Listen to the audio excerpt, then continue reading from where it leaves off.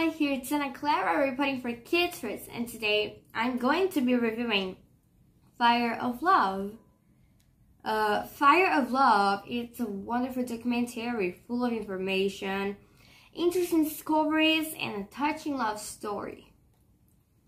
Uh, I was really in love with all this. This film follows two scientists and lovers called Katia and Maurice Krafft who are obsessed with studying volcanoes and go at Miss Dam as they capture events that have never been recorded before. This documentary is amazing. I really like learning about this couple's adventures and their love story, which makes everything even more incredible. Uh, my favorite scenes are when we see the magma, because it's such an incredible image from nature. You'll see the heat make melting rocks and can't imagine how hot it has to be to do that.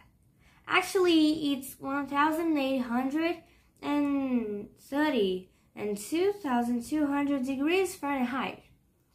Uh, I also like when we see Katia feeding a little squirrel.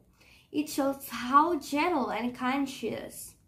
We always are aware of Katia's skills as a scientist, as she uh, answers the question. She's very confident and knowable.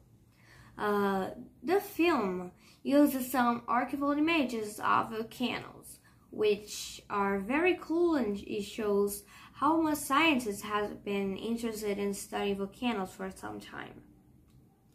Uh, now the message of this film is that when when we share uh, an experience with someone else, everything becomes so much easier. Nature has so much to teach us.